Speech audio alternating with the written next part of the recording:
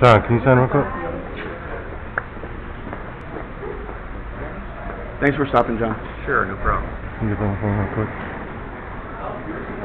Thank you so much. Anyway, like, yeah, you uh, saying?